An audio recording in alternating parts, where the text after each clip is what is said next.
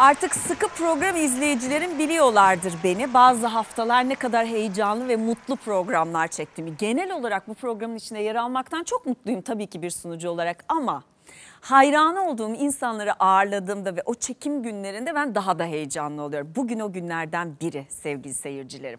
Yine uzun zamandır hayranlıkla seyrettiğim, ya keşke arkadaş olsak dediğim ama hayat yüzünden, koşuşturmalar yüzünden bir türlü böyle hayat yolculuk yollarımızın daha doğrusu böyle bir araya gelmediği yolculuklarımızın çakışmadığı bir isim.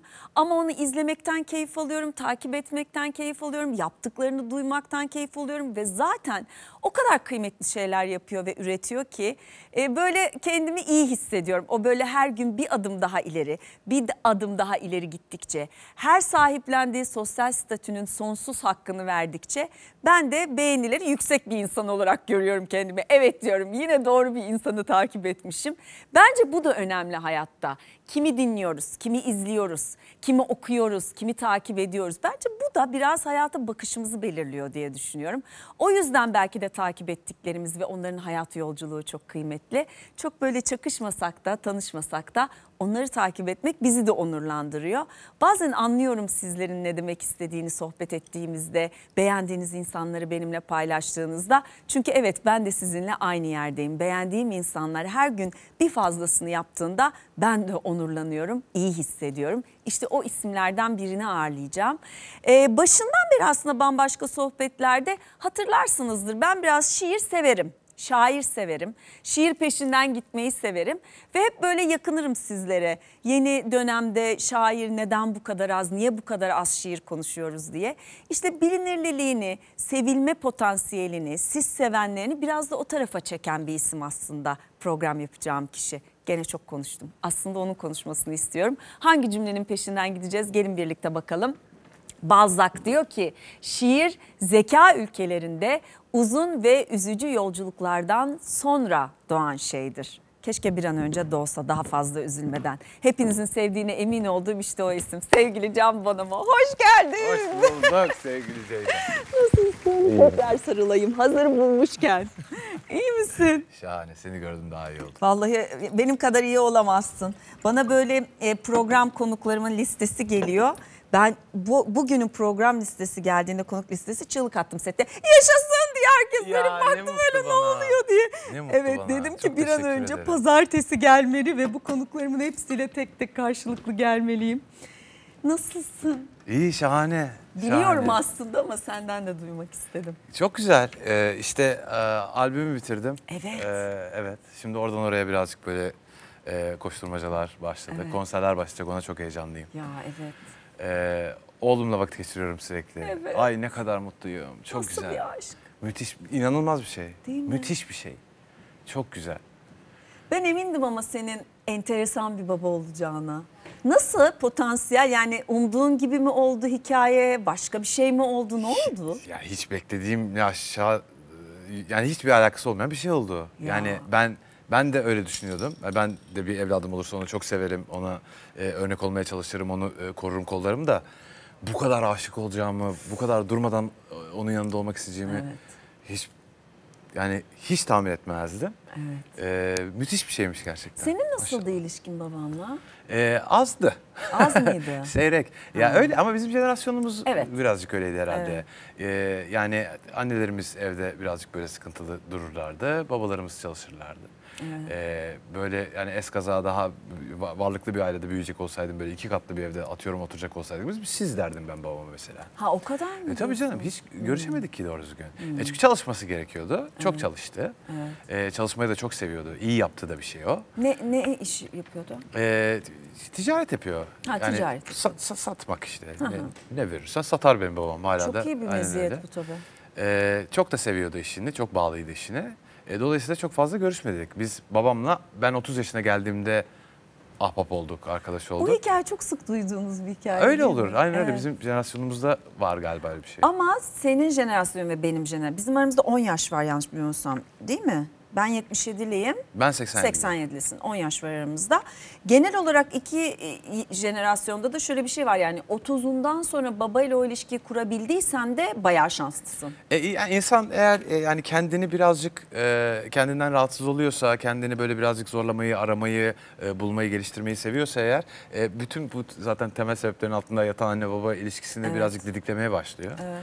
E, ve 30 yaşındaysa da 30 yaşında fark etmez. Ben çok seviyorum babamı. Ne güzel. E, aynen yani mutlaka. Baba babadır canım. Tabii Ana canım. da anadır. Aynen öyle. Aynen Tabii öyle. ki. E, ve şahane bir ilişkimiz var şu an. O zaman aslında sen babalığı da sıfırdan kendin yazdın gibi bir şey oluyor. Şiirlerin, sözlerin gibi değil mi? E, ben Öyle yani şey denebilir öyle ama herkes için geçerli değil mi o zaten? Yani çünkü hepimizin babalık deneyimi Evet. birbirinden başka Ama biraz aslında. gördüğünü de uyguladığın ya da yaralarından doğru yaptığın babalık ve annelikler de var ya. Mutlaka var. Evet, E, bir de yüzden. gördüğünden dolayı yapmadığın Evet. daha çok olur. E, Evet. Evet onu çok deneriz. E, ya bir şeyler yapmaya çalışıyorum işte. Çok keyifli görünüyorsunuz ikiniz de. Öykü zaten çok kıymetli biri.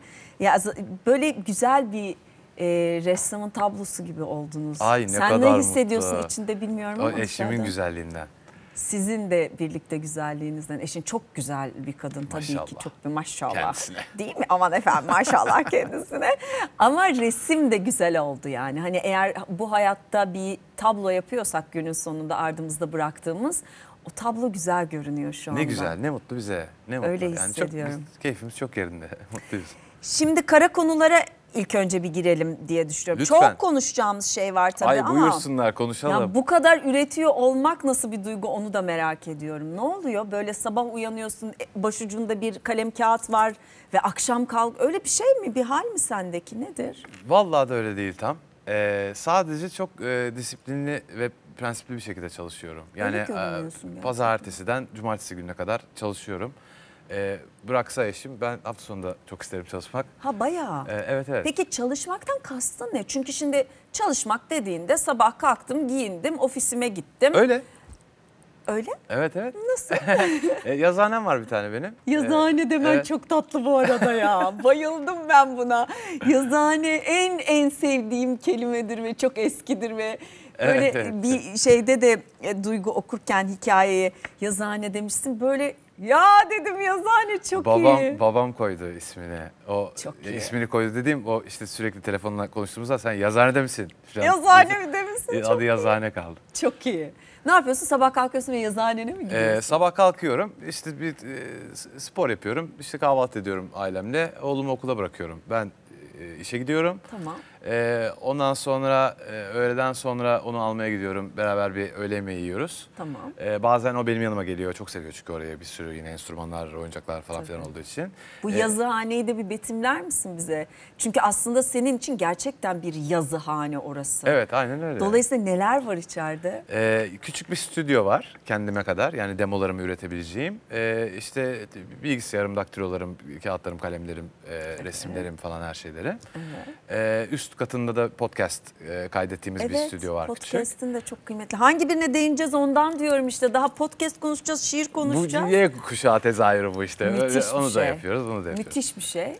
Ve oraya giriyorsun, biraz müzik yapıyorsun, biraz yazı yazıyorsun, yukarı çıkıp podcast Aynen, aynen öyle, aynen öyle. Yani ve Bu evde olsaydı ne olurdu? Yazıhane olması bilerek tercih ettiğim bir şey mi? e, evde olmadığı ortaya çıktı onun. Hmm. Yani, yani ben e, ya öykü evdeyken çalışası çok Gelmiyor. gelmiyor, yani. Niye? Sevgilimin yanına Aynen gider öyle. durur iki film Yani, seyrederim kardeşim. Kesinlikle Değil mi? öyle. Ee, kaldı ki hani bu denklemin içerisine bir de e, oğlum girdikten sonra mümkün değil yani orada hiçbir şey Doğru yapmam. Ve istemem zaten yapmak yani. Onlarla oyun oynamak isterim. Ee, o yüzden gidiyorum işte sabahları. Alanlara ayırma fikri çok haklısın. Yani ben uzun süre böyle evde üretim yapılabiliri savunmuştum hayatımda. Ama şimdi bakıyorum gerçi ben yapabiliyorum çünkü çocuklar okula gidince yalnızım ve devam edebiliyorum. E, tabii. Ama evet evliyken o çok zor bir ihtimal gerçekten haklısın. E, da- daha güzel güzel bir şey ya aslında. Yani kimin ne yaptığının e, biliniyor olması, yani kimin kişisel alanı nerededir, e, bu bunların böyle doğru düzgün bir şekilde e, pay ediliyor ve arkasını kullanıyor olması güzel bir şey. Dengede tutuyor ilişkileri. Çok katılıyorum. Artık ben de böyle düşünüyorum. Kara konular. e, 6. stüdyo albümün öyle mi? Evet. Ve artık e, bütün müzik dijital platformlarda ulaşabiliyoruz. Evet açın dinleyin yani o Açın kadar da var. dinleyin ve çok e, aile albümü gibi bir şey olmuş. Evet evet Ne ya. oldu, nasıl oldu? Ne bileyim çok arkadaşlarım çok e, benim heyecanımı çok gördüler. Ben bu benim 6. stüdyo albümüm. Ben Evet. ilk defa bu albümde e, hiç stüdyodan çıkmadım.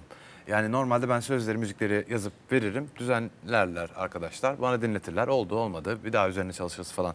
Bu sefer e, ben de romanda durmadan stüdyodayız. Ve hani çalınan her notada e, ben oradayım ve e, mutlaka her şey e, benim onayımdan geçiyor. Evet. E, dolayısıyla çok meşakkatli ve çok uzun sürdü. Evet. Ne kadar sürdü? E, iki seneden birazcık daha fazla sürdü. Bayağı bir emek. Evet yani ben oğlumu stüdyoda Bu arada büyüttüm evet roman şey oldu. oğlunun ismi efendim. Hani bilmeyenler için söylemiş olalım. Roman da iki sene boyunca stüdyoda babasıyla birlikte bu altıncı albümün hazırlığında destek oldu, niyet oldu, heyecan oldu, enerji oldu. Yani siz Kara Konular albümünü dinlemeye başladığınızda biraz romanı da duyacaksınız Ay, bence. ay, ay, Nota aralarında oğluşum gibi bir şey benim. hissediyorum ben.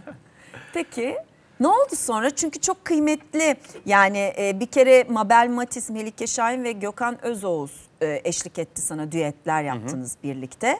Tabii benim e, canım Melikşah Altuntaş'ım var Tabii. albümün içinde. Çok merak ediyorum. Serkan Keskin, Sarp Apak, Bengi Apak, Engin Özsüt. E, onlar da eşlik ettiler sana. Nova Norda. Nasıl Evet. yani?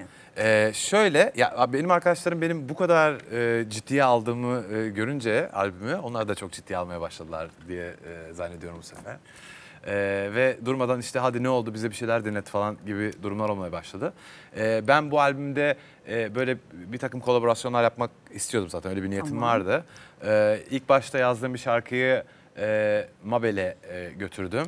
E, Kalbi Hepten Kırıklara diye bir şarkı. E, Mabel benim 15 senedir e, falan tanıdığım ve çok çok sevdiğim Çok bir müzisyen. bir Müthiş bir insan. gerçekten, evet. E, ve biz 15 senedir e, yani birbirimizi tanıyoruz ve hep kollarız e, birbirimizi. Sadece bu kadar yakinen e, sırt sırta çalışma fırsatı bulmamıştık daha önce. E, ben Kalbi Hepten Kırıklara'yı ona götürdüm. Çok beğendi, çok sevdi.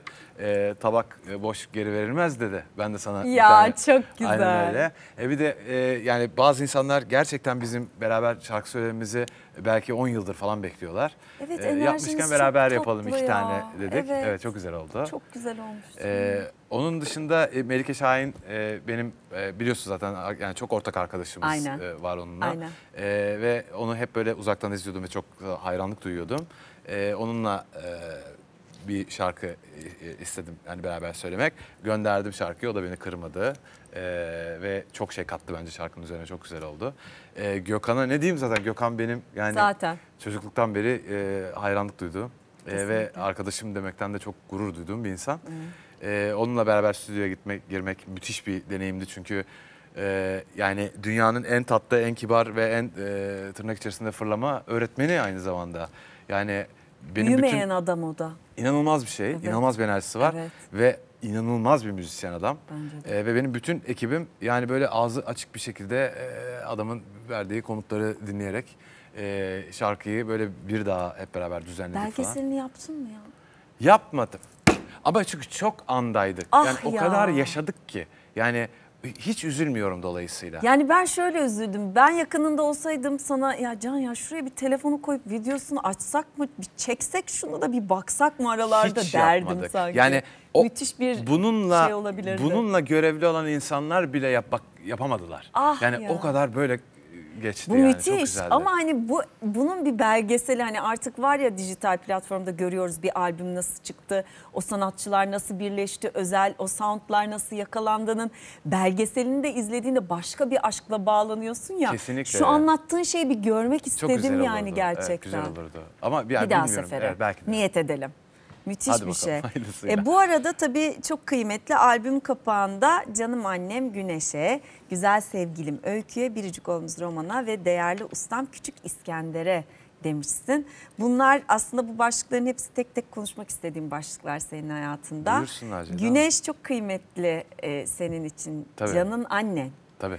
Ee, ve tabii başka bir imtihan meselesi bu senin için. No- ne- Nereye götürdü bu hikaye seni annenle yaşadığın? E, beni ben yapan e, aslında birinci faktör olabilir herhalde e, erken yaşta annemi kaybetmiş olmam. Evet Ee, biraz çok- sert bir hikaye ama sendeki tezahürü de bize yarayan bir şey olmuş sanki öyle hissediyorum. o- o- bana da yaradığını düşünüyorum. Yani çünkü ben şu an hayatımın geldiği yerden çok mutluyum, çok memnunum. Yani e- eğer e, romanın doğmasına, öyküyle tanışmama vesile olduysa e, yani hiç kimse annesinden vazgeçmek istemez Tabii elbette. ki. Ama bu, bu acıyı e, bir şekilde daha e, iyi, iyi bir şekilde sindirebiliyorsun o zaman. Diyorsun ki e bak işte.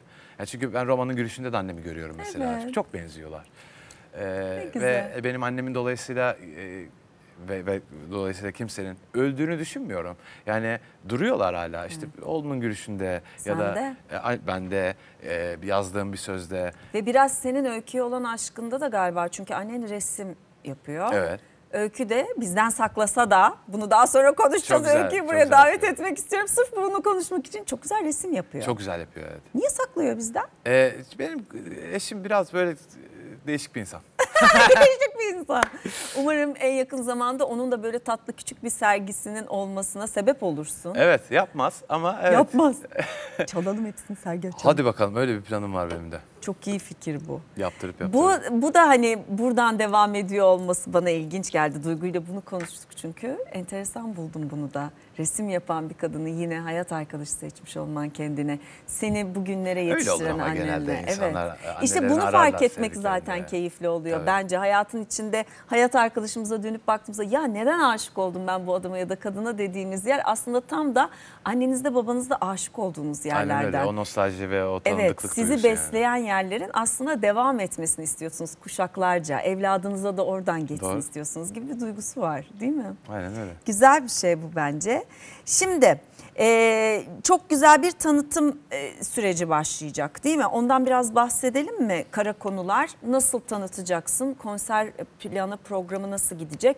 Gerçi sosyal medya var. Seni sevenlerin tabii ki oradan takip edecek ama bugün bizi izleyenler de öğrenmiş olsunlar bence. Ee, ben o kadar ben bir vakıf değilim o kadar. Tamam. Hani tanıtım yani şey Tabii çok ki. bilmiyorum yapmayı.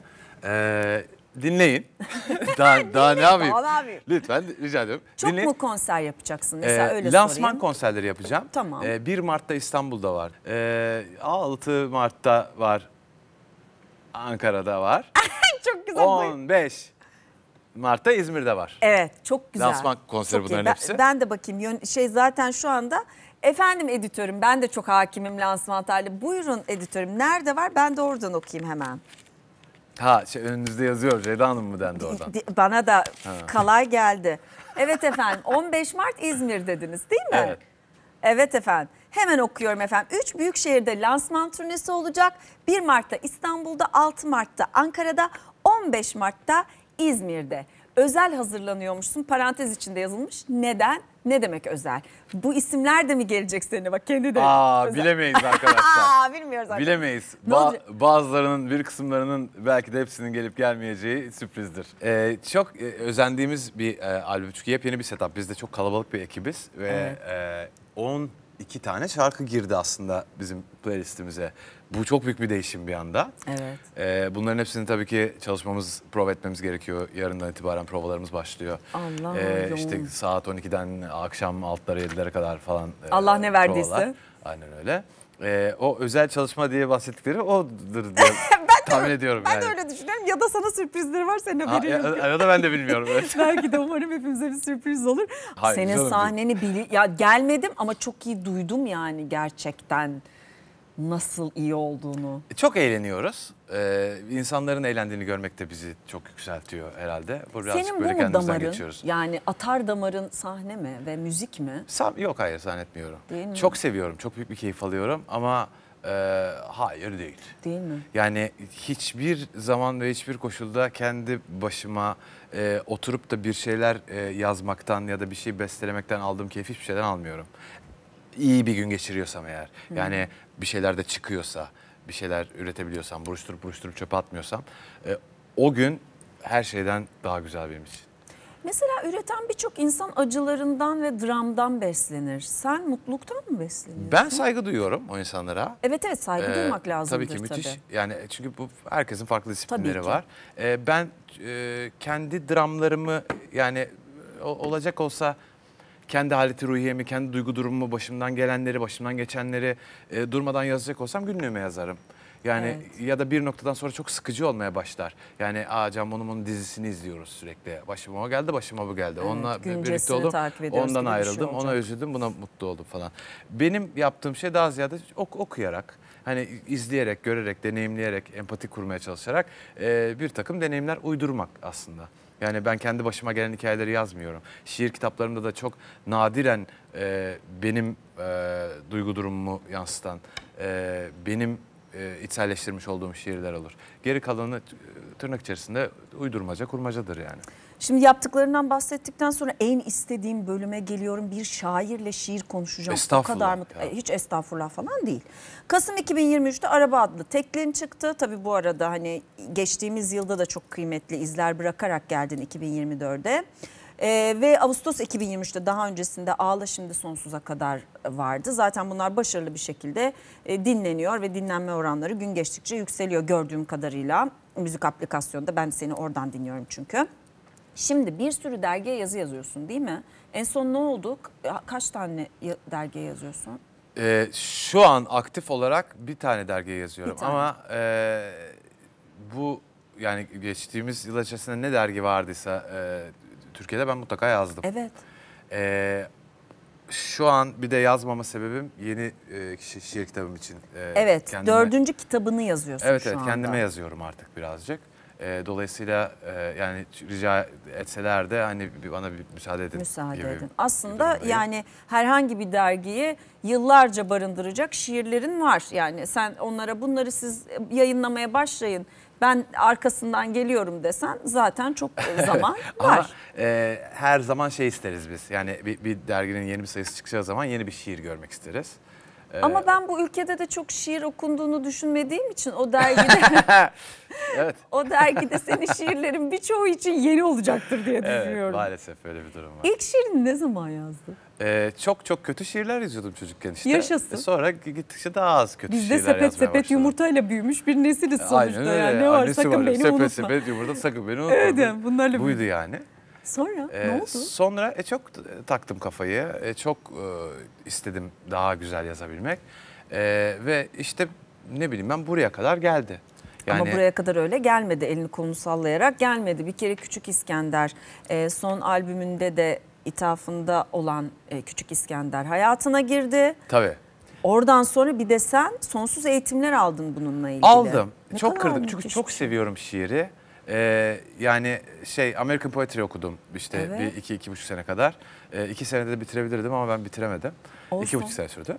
E çünkü Ee, durmuyorsun ya bir yandan da Bir başka yandan da şeyler öyleydi evet yapıyorsun çok işim ya. vardı. Evet. Ee, o, o çok e, faydalı oldu zannettim bana. Halbuki beni birazcık fazla çok böyle kalıplara sıkıştırdı ve Ha, çok öyle böyle mi? Hmm. şiir şiir şeyler yazmaya başladım. Fark ettim hemen durdum. Dedim ki ben bir süre şiir yazmayayım bakalım. Ha öyle Ee, oldu. evet evet. Ee, sonra ama geri geldi. Tamam. Çok güzel. Eski e, dinamiğimde şu an yazmaya devam ediyorum. Kendimi çok mutlu eden şeyler yazıyorum. Ee, çok seviyorum yazmayı. Yaz ya, Ee, sen rahmetli, yaz zaten. Evet ustam da yazmayı çok severdi. Durmadan yazardı. Yazdığı zaman e, huysuz olmazdı bir tek. Ya. Ee, ya da yazdığı zaman biz etrafında olmadığımız için biz görmezdik. Allah rahmet eylesin. Hmm, Allah rahmet eylesin. Evet.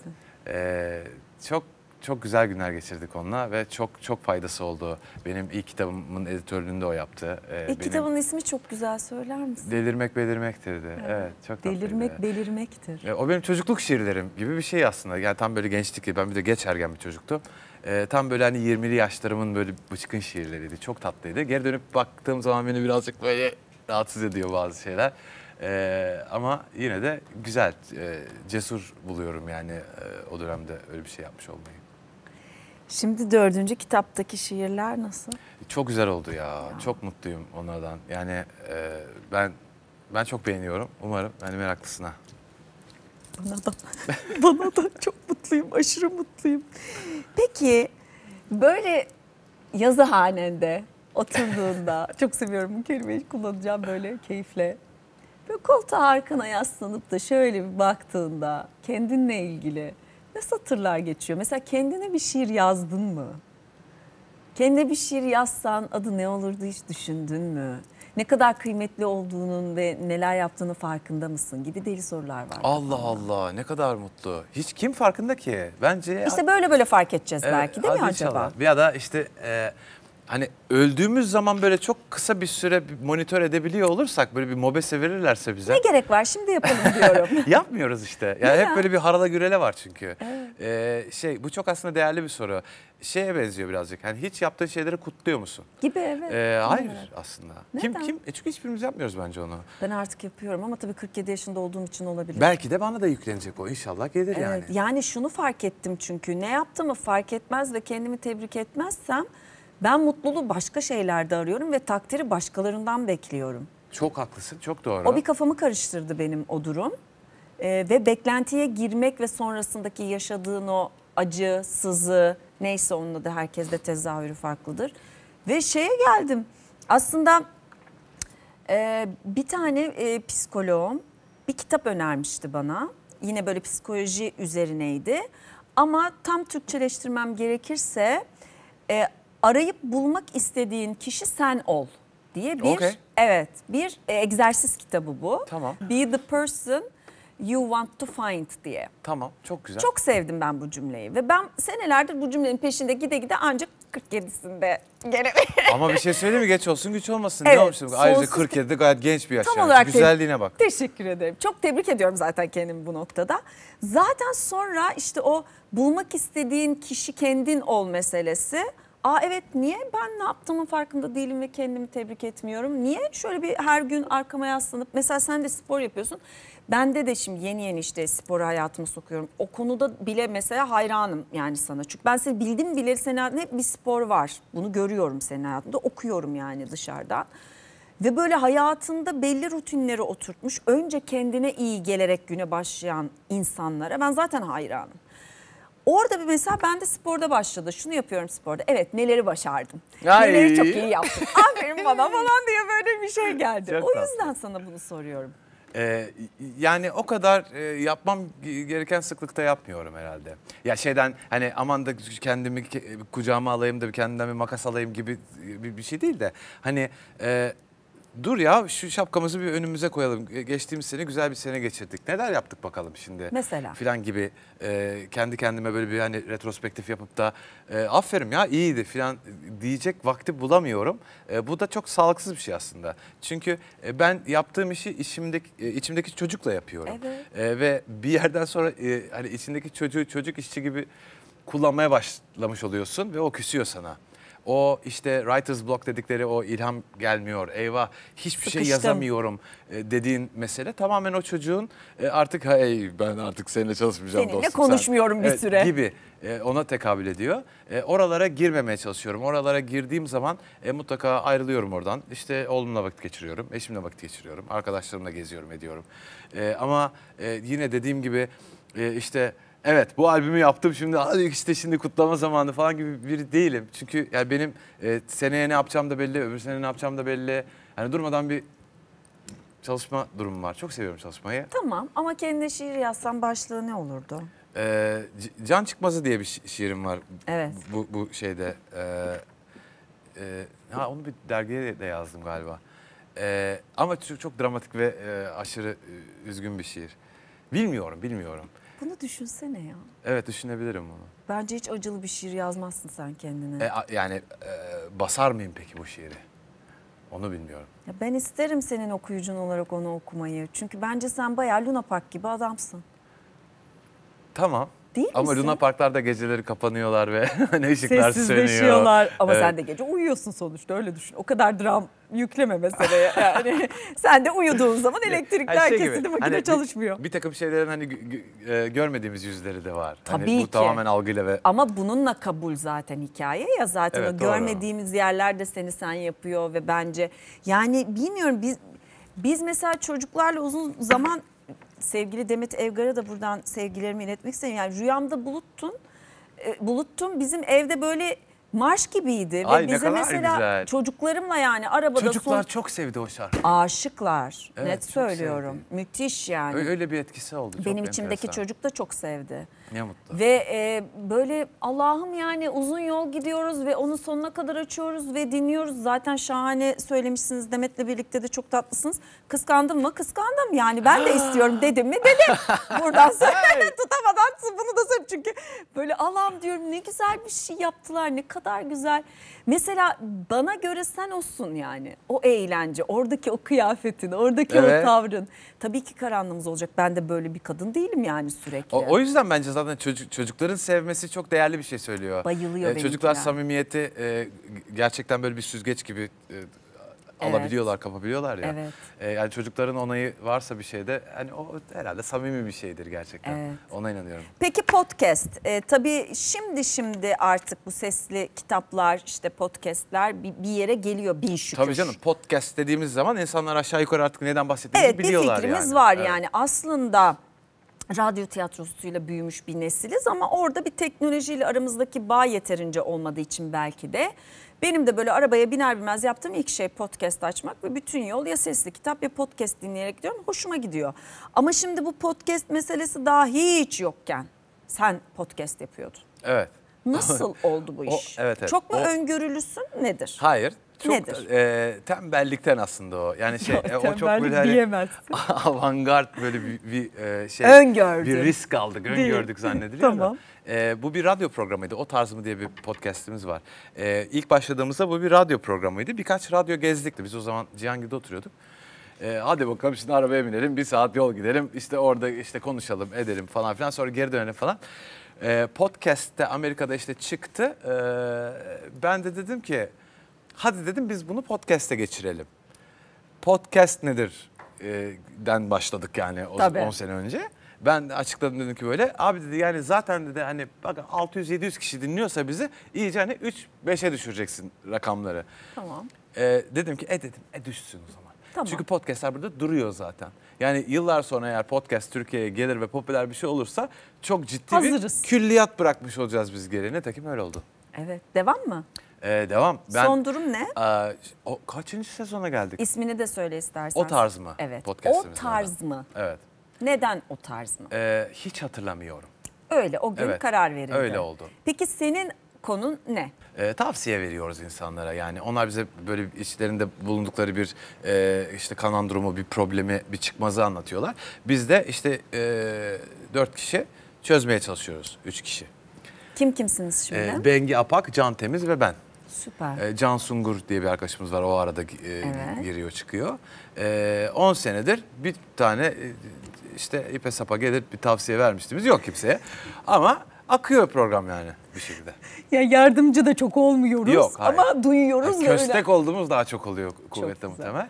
Ee, ama çok eğlenceli bir Ya program. en azından seni takip edenlerin beni gördü, beni duydu, okudu ve cevap verdi deyip önemli hissettikleri. Aa belki de. Değil mi? Belki de. Çünkü e, şu zamanda en büyük ihtiyacımız duyulmak, görülmek ve dinleniyor olmak olduğu için Öyle. podcast'in bütünü de bence çok önemli diye düşünüyorum. Peki neler var sırada?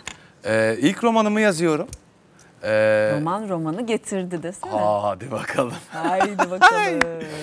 Ee, onu bitireceğim işte yakında. Ee, bir komedi e, romanı. Çok eğlenceli. Aa, çok Gerçekten güzel mi? gidiyor. Çok seviniyorum. Çok merak ettim. Ee, çok e, eğlenceli ve e, neşeli gidiyor şu ana kadar. Maşallah. Ee, kara konular beni böyle aldı aldı bitirdi birazcık. Ee, çok dediğim gibi iki buçuk sene sürdüğü için e, işte podcast'ı falan her şeyi durdurdum yani. Hiçbir şey Haklısın. yapmayıp e, albüme döndüm birazcık. E, şimdi o bitti. E, kara konuların bir kere turnesinin başlamasını bekliyorum heyecanla. E, her yere konsere e, gitmeyi, işte festivallere çıkmayı. E, çünkü çok özledik artık çalmayı da. Onun dışında şiir kitabımı da bir yandan yazmaya devam ediyorum. Ve henüz işte daha açıklayamayacağım sürpriz bir takım daha projeler. Çok güzel şeyler var Harika. önümüzde. Ama hiçbirini açıklamayacak mısın sürpriz? E yeter de bir sürü açıkladım düşününce. Aman ya bu sürpriz deyince çok kursak diye bir şey var yani bu hayatta oluyorum. Ee, vallahi da böyle bunlar. Vallahi da böyle bunlar. Beni takip edin diye bak klişe bir cümle. Takipte kalın. Takipte kalın, beni izleyin. Ya zaten sen yap biz izleriz yani bu kesin bilgi. Romana çok sevgiler. Öykü'ye sımsıkı sarılıyorum. Tez zamanda çizdiği eserleri e, kaçırıp sergisini açmanı O diliyorum. iş bende. O iş sende. Çok güzel şeyler yapıyorsun. Çok şahane bir genç adamsın. Seni Çok takip mersi. etmekten çok haz duyuyorum gerçekten. Ne mutlu bana. Her şey güzel olsun ve bence e, defterimi sana uzatacağım tabii bu arada ben çır çır çır çır konuşurken. Şöylece bir birkaç satır bir şey yazmanı isteyeceğim senden. Bir de fotoğrafımızı çekeyim. Ondan sonra çenem çalmaya devam etsin.